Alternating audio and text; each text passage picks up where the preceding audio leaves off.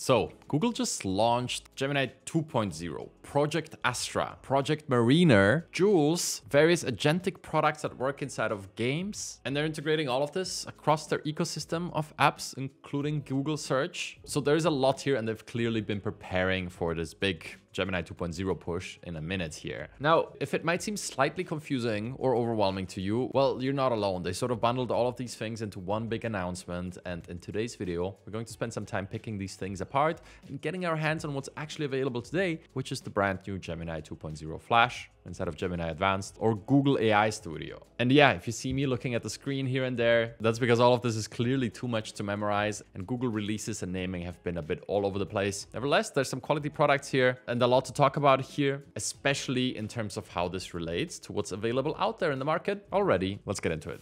All right, so let's talk about Gemini 2.0. There's a lot to unpack here and I would really put this into two camps. There's the things that are available today, the Gemini 2.0 Flash model, and also the ability to live stream your camera and your screen to Gemini 2.0 Flash. It's multimodal and it can interact with you on a live basis. This is the first time we see this fully available and in action. So that's going to be super interesting. We're going to start out the video by reviewing that. And then we'll talk about all the other things that are built on top of this that might not be available yet. But surprisingly, Google has actually been inviting various people to test these features. So people got their hands on it and they released a bunch of hands-on demo videos here. So there's a lot to talk about with Gemini 2.0. But as mentioned, let's start by reviewing what is possible today. And it's really this new Gemini 2.0 Flash experimental model that you can access either through Gemini Advanced or Google's AI Studio right here. So here's the thing, full transparency and honesty is important to me in this channel. And I wanna just point out that I just resubscribed to Gemini Advanced to create this video because I thought, hey, Flash Experimental is available in there,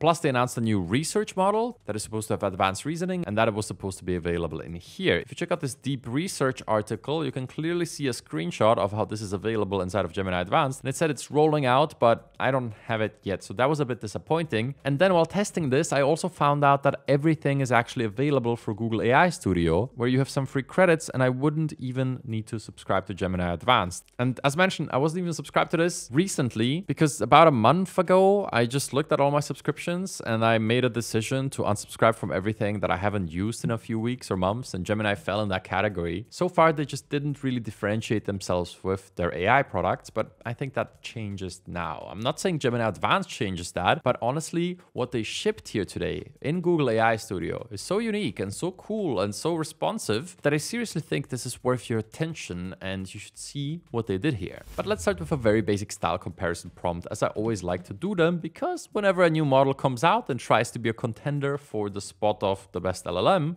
this is one of the things I personally really care about. What does it sound like? What does it write like? So I just told it to write me an essay about penguins and you can check out the writing style over here. Classic ChatGPT over here. And then honestly, this Gemini Flash experimental doesn't sound very different. But what I found interesting was the fact that when I followed up with a little stylistic prompt where I told it a little bit about my writing style and told it to rewrite this essay about penguins, it actually came back with something that sounded well, way more personal and reflective than both ChatGPT over here and Claude over here. Now, I'm not going to sit here and review every single word in here, but just have a look at the first sentence. Claude says, you know what? I can't help but smile whenever I think about penguins. There's just something about these waddling little birds that captures my heart every time I see them. Okay, ChatGPT starts off by saying, I've always had a soft spot for penguins. Maybe it's the way they waddle, like they're wearing tiny tuxedos, or how they seem to embody resilience in the face of an unimaginable cold. Okay, but when we look at Gemini over here, it just to me feels a little more reflective and personal. I don't know, maybe it's just me, but look at this. Okay, so penguins. I've always been kind of fascinated by them. They're just weird, you know? In the best way. Like they're the birds that can't fly in the sky. Anyway, so I just thought that was interesting and quite different from ChatGPT and Claude, and Gemini always had a bit of its own flavor, for better or for worse. So that's interesting, but not really unique and not really a reason why you would dish out $20 to subscribe to this or bookmark a new thing to use regularly. So what is unique here is the fact that this is multimodal in a way that we haven't seen out of any of the competition yet. Concretely, if I go in here, you might already know that you can upload videos here and not just upload videos. I could use the camera right here, allow this time and record a little video. Hey, what's up? I'm just curious if you can see what the camera sees. How many fingers am I putting up and what does this mean? I'm just gonna prompt it and say, what do you see? And right now it's not even running, right? It's just uploading this little video. I'm going to run it and look at the speed. One second, two seconds, not even two seconds. And boom, we have the result. It describes it and it says he's holding up two fingers in a peace sign gesture. Now, I don't know about you, but that was impressive, no? Two seconds to analyze all of that. Not bad. And it goes further because you could go up here and say stream real time. This is brand new and it only works with Gemini 2.0 Flash Experimental. And you could actually stream things in here. Let's just do the following. Let me share my screen here with Gemini, give it access to my tab here. Google introduces Gemini 2.0, share. Okay, it seems to be sharing. Okay, tell me what the difference between Gemini 1.5 Pro 002 and Gemini 2.0 Flash Experimental are on the various benchmarks that you can see here. Sure, I can help you with that. According to the benchmarks shown, Gemini 2.0 Flash Experimental score is better than Gemini 1.5 Flash Pro 002 on all of them. Okay. For example, True. all right, Oh, sorry, keep going. okay, I understand. As I was saying, Gemini 2.0 Flash Experimental scores higher on all benchmarks. Specifically, it scored 76.4% in MMLU-Pro compared to 75.8% by Gemini 1.5 Flash Pro 002, 92.9% in Natural2Code versus 85.4%. Look at that, a true AI assistant that gets it right, sees your screen, takes audio input, virtually no latency here, right? This is what advanced voice mode promised in the beginning, and now we have it. Maybe not in your phone yet, but certainly in Google AI Studio. And this is very usable, right? I didn't even load any credits. You can just give this a shot right away, which is wonderful. And then you could do the same thing just with your camera. As you can see right here, here we are. Um, okay, what is this gesture? What am I doing? The person in the video asks what gesture they are making. They are gesturing with their right hand while speaking. I don't know about all that. Like, try again. What is this gesture? What are you seeing in the video? The person in the video raises both of their fists in the air. They then ask what you see in the video. Yeah, can you tell me what it is? The person in the video asks you to tell them what the gesture they made is.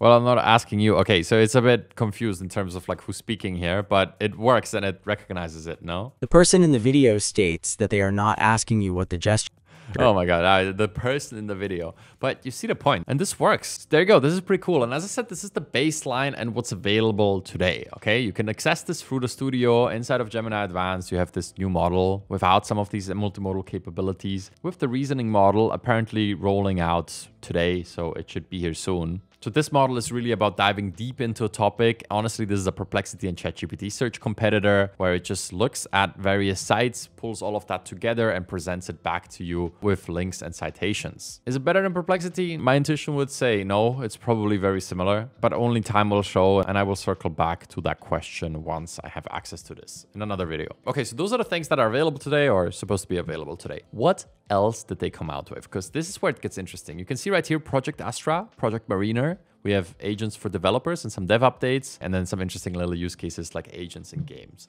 Let's really start out by Project Astra and by pointing out that all of these subsequent things are powered by Gemini 2.0. They're powered by this Flash model that is super fast, multimodal, takes audio and video input, and has this fluent and natural sounding audio output. And what this makes possible is experiences like Project Astra. Now, if you want all of the examples of this and you want to review them, then I would recommend you check out Google DeepMind YouTube channel here. Not the main YouTube channel, that's a bit more commercial, but here on the DeepMind channel, you can really see some of these examples.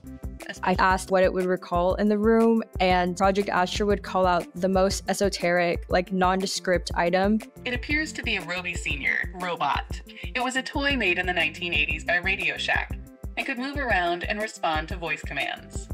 So this is how it essentially works, right? You use your phone with the camera and this AI assistant sees what the camera sees and takes your audio input. Plethora of examples of this in use. And I think this one just intuitively makes sense, right? An AI assistant that has eyes and can speak to me. All right. The tag shows to machine wash at 30 degrees Celsius, avoid bleach and tumble drying, iron on low, and dry cleanable. Then what settings should I use on this machine? Based on the laundry instructions of 30 degrees Celsius, select the 30 setting under Easy Care on the dial.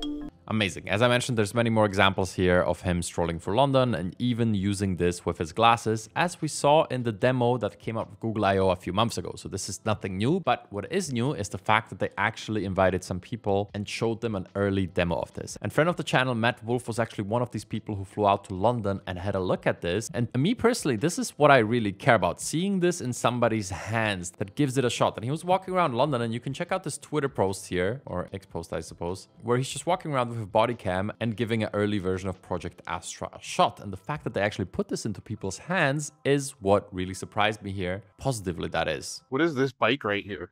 It's an e-bike, specifically a Forest branded model, noted for its electric assistance and 10 minutes free daily feature. And the reason I like this is because he walks around and there's cases where it does get it right. It says, hey, I'm not sure what this tree is. It doesn't even have leaves. What kind of tree is this right here? That appears to be a deciduous tree, likely a type of birch but it's difficult to identify the specific species without leaves. So, well, that's really interesting. There's no early access and no waitlist for this yet, so I guess we'll just have to be patient until this finally comes out. And my suspicion would be that ChatGPT is not just gonna sit on their hands. They have a few more days of announcements. An upgraded advanced voice mode, where that can use your camera and desktop, would really make sense. And all of a sudden, they would pull ahead of Google, which they do like to do, which might be interesting because that would probably mean that it pushes Google to release Project Astra even earlier than they plan to. But let's see. So this is one of the things that came out. And an interesting fact that they revealed is that it has up to 10 minutes of memory. You can run the assistant for 10 minutes and it still remembers. Next up is Project Mariner. And I want to kind of review this one based on all the experiences I have with browser automation tools that are agentic. This idea is really powerful, okay? This is something that immediately captured my imagination. I think a lot of people can get on board with the idea of an AI agent actually doing work for you in your browser, pressing buttons, filling out forms, transferring data, researching, whatever it might be. All of these tasks could be theoretically automated, and a lot of them are tedious, and people would like that. Here's the problem. I've tried most of these tools that are available on the market now, including Claude's computer use that came out about a month ago, maybe two months now. And they all have one thing in common common. They make incredible demo videos. It's really easy to record a 30 minute session, take the best parts of that and cut a little best off together. That looks incredible. Wow, look at it. I just prompted it and it went out and did all of these things by itself, transferred the data, filled out the form. Great. Problem is that in practice, if you run the same thing multiple times, you're going to get different results every single time. It's super inconsistent. It takes different routes every time. And even this example that has been pointed out here, I think it's fascinating and it's certainly the future, but I personally am only only going to believe that this works as demonstrated when I see this in a live setting. I want to see a 60 minute stream where they play with this and where it fails sometimes because that's just what this thing does. But yeah, this demo looks incredible. Look, she tells her to find the email addresses for these companies and it goes out and uses Google search do that. So I'll ask the agent to take this list of companies, then find their websites and look up a contact email I can use to reach them. This is a simplified example of a tedious multi-step task that someone could encounter at work. Now, the agent has read the Google Sheet and knows the company names. And then of course it goes ahead and searches the web and enters all the different email addresses. But in practice, if you do this with some of the other models that I've tried, again, I haven't tried this Project Mariner, but in the others, it just naturally gets lost in the website sometimes. It clicks the homepage, then goes to contact, and then there's maybe no email address right there. So it clicks somewhere else, and on some random subpage, as soon as it finds an email address, it enters it. And it's not the one you would want to contact, for example. Or it just straight up finds the wrong company. I mean, how is it supposed to know that there's only one benchmark climbing on the web? Web. That's kind of a tough problem. That's why Google search shows you many results. And this agent is supposed to know better than you. Yeah, that's a big ask. So I'm just saying, I'm a bit skeptical on this one, but I'm super glad they're pushing this forward because I certainly want a Project Mariner that works. And some of these previews look very promising and in combination with this new Flash model that just works as I showed you today. This thing is available. This product category holds a lot of promise and I'm glad that they're pushing in this direction. Okay, next up we have some developer updates with Jules, the agent for developers. Now this is something something that's not available yet. And to me, it seems like there's a lot of competition in this category by now. And I'm not exactly sure what would set Jules apart from some of the other coding assistants, whether in the form of an IDE plugin or a full-fledged IDE like Cursor. Now, what I do know is that they released several developer tools with this announcement. And I think some of them are fantastic. So one of them is new output modalities. So Gemini 2.0 Flash can output audio and images natively, which is amazing, a true multimodal model. And also all of these live streaming features are included in the API, so it can stream video from your camera, it can stream your desktop. All of these could be built in through their API today. It can pick up on interactions and voice activity. And I have to say one more thing, when interacting with this thing, check this out. I don't know how much you use advanced voice mode, but OpenAI's version of this voice assistant has a problem with interruption sometimes. You kind of want to interrupt it and it just keeps talking or takes two seconds longer. Check this out, Gemini over here just seems to work. Hey, what's up? How are you doing today? I'm doing well, thanks for asking. How about you? Yeah, I'm doing very well too. Tell me a little story. Okay, here is a short story for you. Once upon a time, in a small village nestled beside a great forest. Okay, hold There up. lived- make it a make it a bit more dramatic. How about that? All right, let me try a more dramatic story. In a kingdom shrouded in perpetual twilight, there was a forbidden prophecy foretelling the rise of a shadow sorcerer. All right. Now do it in a dark, mysterious, and how do you say? Somebody like somebody's voice after 50 years of smoking cigarettes and drinking hard liquor on a daily basis. The journey is usually the part that you remember, anyways. Do that voice. Okay, I will do that. In the abyssal depths of a forgotten catacomb, a voice rasped, like gravel grinding against stone, as it Okay, there you go. So it cannot do the voice like advanced voice mode, but my point here was that the interruption does work better. And all of this is available through the API too, including the live streaming. So you can expect this to pop up in applications where it makes sense. All of a sudden, you will be able to live stream your screen to an agent. Sure, security concerns, no doubt, but fascinating that this is becoming available today. Because yesterday, this wasn't a thing you could easily do. And then throughout this rollout, they included a few more examples. One that particularly sparked my interest, because this is just my personal interest, always has been, is agents in gaming. Now check it out. They had a few demos like this. You can check them out on the Google DeepMind YouTube channel. Given the base layout, I recommend attacking from the bottom or south side. This direction allows you to target the town hall directly with your giants, while the wizards can handle the surrounding defenses. AI gaming coach. How cool is this? Now, as an avid gamer, I do have to point out that all of these games and their little demos are turn-based. So these are some of the simplest to comprehend games. It's not something where reaction time really matters, like Counter-Strike, or something with a million variables, like League of Legends. These are some of the simplest games out there, but I love seeing this. Heck, I mean, soon we'll even have AI agents that you're going to be able to play co-op games with, sort of enabling digital friends at a whole new level of interactivity. I don't know, just a thought I had when I looked at this. And super cool that they're including this in the main blog post. I like that. And that's really everything they released and announced today. So what all of this has in common is that it's powered by this Gemini 2.0 era, and especially this Flash model that is multimodal. It can see, it can hear, and it can also speak. It might not be able to do the voices of advanced voice mode, but the latency is on par with some of the best voice assistants out there. And the interruption feature, in my opinion, is the best I've ever seen. You can access it today through Google's AI Studio in the Stream real-time interface, and I would strongly recommend you do that. It's a whole new experience that we haven't had access to up until now. And then if you want to get inspired even further on their channel, they have all of these example videos, as I pointed out. And if you want early access to any of this, over at labs.google, you can sign up for the waitlist for, for example, Jules. And yeah, I guess that's it for now. The other ones don't have a waitlist yet. Just these more detailed pages that focus on the specific announcements. All right, I hope you have a wonderful day, and I'll see you soon.